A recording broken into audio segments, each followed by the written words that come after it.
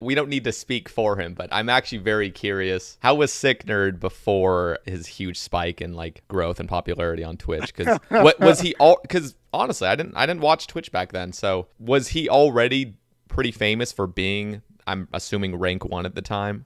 So, so you, are you are you talking about like the perception around him, or like him as an individual? I, I guess both. I'm just I'm really curious because it's he just seems like a completely different person now. Just what I uh, remember listening to on like Hex's podcast early ones and like such he is so skilling based and now he's just casually plays now. Yes, uh like as a and every everyone changes all the time, but uh yeah, I mean definitely uh changed a lot from when he was uh you know like one of the top ranked players in the clan or like in the game compared to uh now doing what he does.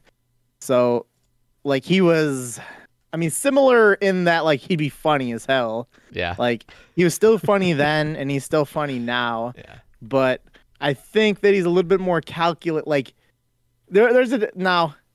I wish that I had his job. I like there's not. I'm not talking like in any like ill way, but like I feel like even like the more that you get popular as a streamer to where it suddenly becomes your career, and you're suddenly making more money than you thought you would ever make. You're a little bit more calculated and scripted with just your personality. Yeah.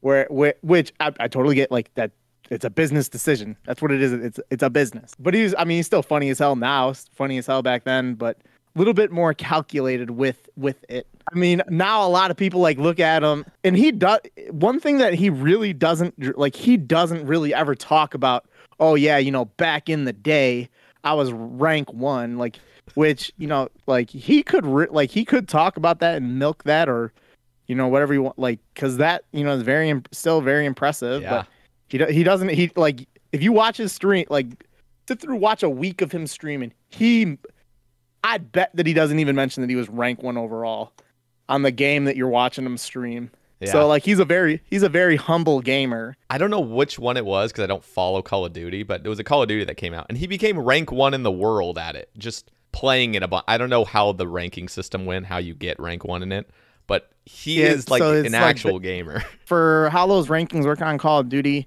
uh, I'm a big Call of Duty mobile guy. Okay. Get get, get your la- get your laughs in, audience. I know, I know.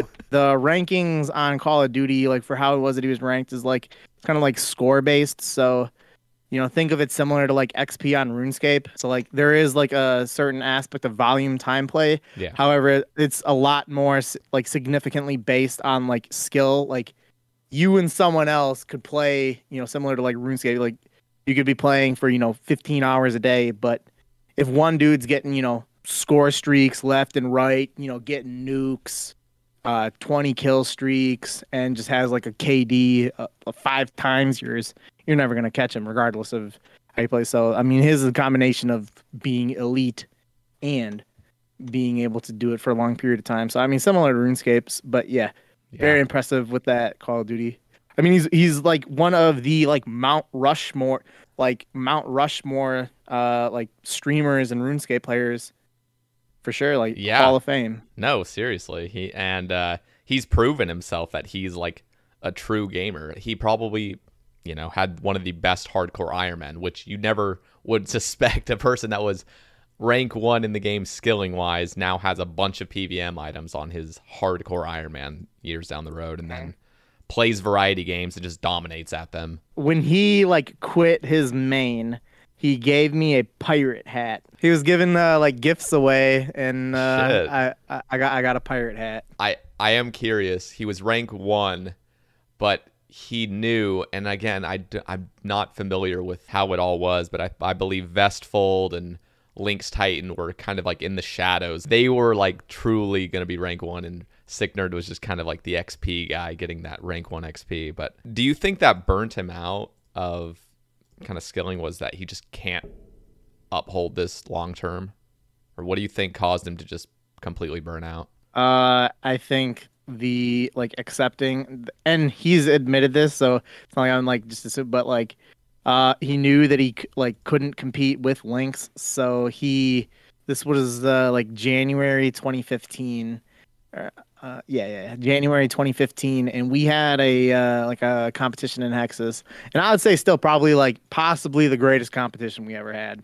You know, we had like 30 people competing. And I think like 20 people or so put in like had like more than 100 EHP like weeks. He did fishing, which at that time I think that fishing was based on five ticking at that time, and he was like four ticking. So he was getting above EHP. And, you know, uh, Crystal Math Lab shows like, okay, he just gained like a hundred and, you know, 20 EHP or 110 EHP, whatever that number was. I have no idea. And uh, Lynx Titan, like he had more EHP than Lynx Titan during that week, which this was during a time, uh, you know, Lynx Titan's account during this time was logged in 24 hours a day.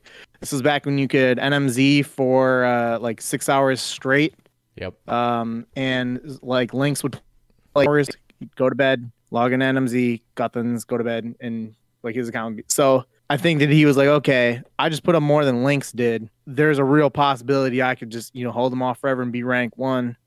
And then like he left Hexis and uh to like just put everything into being rank one. And not a month into that, he ended up quitting. Damn. And I, and I think that you know, kind of the pressure, uh, like seriously, like the pressure of Lynx Titan, and I mean, it's unfortunate because like he would have ended up getting you know second, third, fourth, or whenever. Like if he would have like gone on all the way to 200 mil all, the pressure that he put on himself with, with like looking at it more so as a competition than trying to just have fun with the game. Yeah.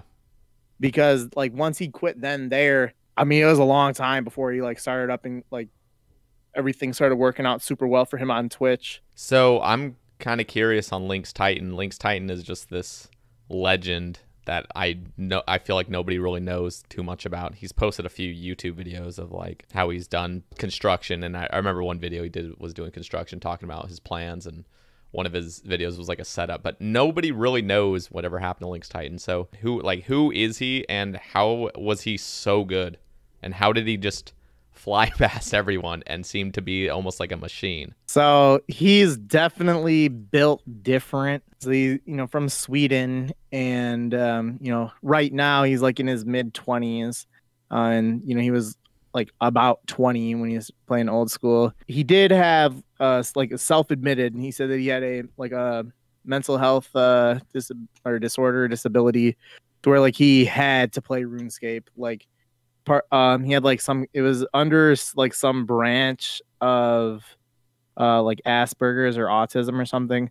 And i like i know that people like do joke about that but when it's actually real it's not a joke. And you know part there's uh, one of his amas that he had which i think was in December 2016 or 2017. I don't remember exactly. I was at like an adult version of Chuck E. Cheese when that was going on. It's called Dave and but it's called Dave and Buster's. Oh yeah, we have one of those. Uh, yeah, yeah. I was at I was at a Dave and Buster's for a for a Christmas uh like work party. And I was sitting there just on Reddit reading his AMA at this party.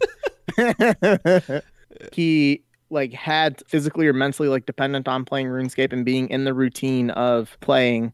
So I mean that is certainly very different from sick nerd myself or Jase or all the other people who you know were top five at the time when he when it was like you could see this tidal wave of Lynx Titan coming, and you know really kept to himself. You know he never joined any clans, you know never never joined any team speaks or discords or anything like that just kind of a man solo on his mission, doing his own thing, sticking to himself. Yeah, I mean, like on top of playing more than everyone else, he was also very good at the game too. So now that he like finished up in, I think it's been two years, two and a half. I have no idea exactly how long. It was like December or January, uh, somewhere around. I think it may have been December, uh, 2018 or January 2019. I'm not exactly sure.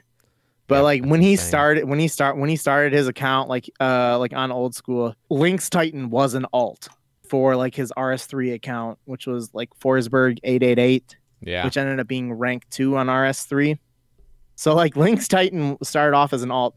So I mean like he was like top 100 or top 200 EHP before he like actually started playing old school. So I mean, like a lot of people say, like, oh, you know, he he started six months later, he started a year late. I'm not trying to diminish the greatness of you know one of the greatest players of all time, but like he didn't like start a whole year. Like he was he was top hundred, top two hundred. You know what wasn't like completely out of nowhere. Yeah. But like yeah, once he finished 200 mil all on RS3, put all that attention onto old school, and it was just no competition. Speaking of people that I guess started late, and again he was playing that as his alt, but um Sean Bay, I'm unfamiliar with his origins and stuff of how he really got into the game, but apparently when I watched his streams before he was 200 mil all, he would say that he started in 2015.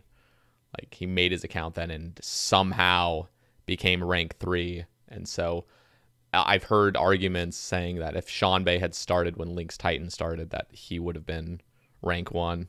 What are your thoughts on that? He played a lot. I mean, I don't think he had a year in which he played under 3,000 hours. I couldn't confidently say yes or no in either way. Like looking at like the data points, like when he would have started, Lynx would have had like about 3k 3.3k EHP and Lynx finished uh, 11 months before he did. And given that during the last like 4 or 5 months when Lynx was playing, you know, like he significantly slowed down. He also had like a time period where he didn't play for like several weeks at a time. There's actually a on an old Hexis podcast, Automology made the bold prediction that Lynx Titan had burnt out and quit because he did go like multiple weeks without playing back in like 2017 or something. Yeah, in the summer, right?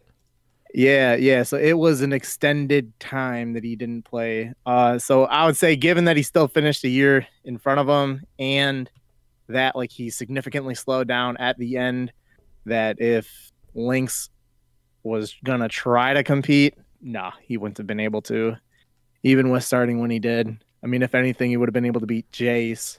Yeah, but not but not Lynx. No, crazy. He's a machine, literally.